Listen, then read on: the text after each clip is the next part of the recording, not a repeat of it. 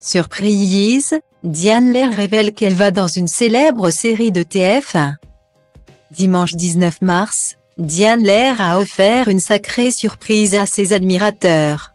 Miss France 2022 a en effet annoncé sur son compte Instagram qu'elle allait faire une apparition dans une célèbre série de TF1 pour un épisode qui s'annonce festif.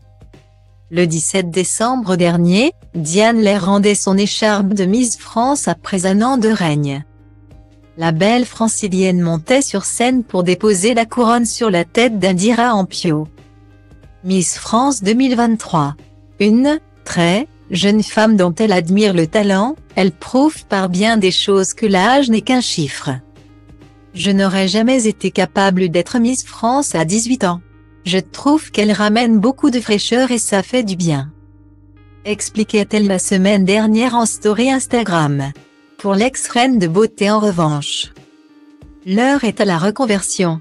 À l'instar d'autres Miss avant elle, la tâche n'était pas trop compliquée pour la jeune femme de 25 ans qui officie en tant que chroniqueuse dans la matinale d'Europe 2 aux côtés de Guillaume Janton depuis la rentrée.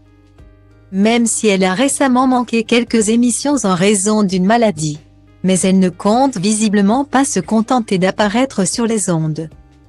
Ce dimanche 19 mars, Diane Lair a en effet annoncé une belle surprise à ses abonnés Instagram.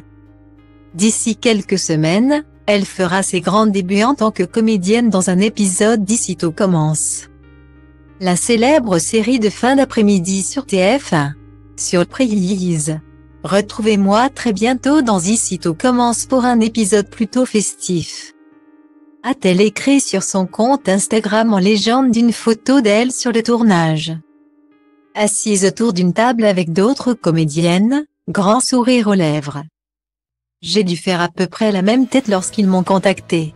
Encore une expérience de dingue. J'avais la sensation d'être une enfant qui découvrait un nouveau monde. Quelle fierté d'avoir eu cette chance. Merci à l'équipe de m'avoir fait confiance et merci pour la bonne énergie. Ajoute la jeune femme, visiblement très impatiente que ses fans découvrent sa prestation. La première étape d'une toute nouvelle carrière à la télévision,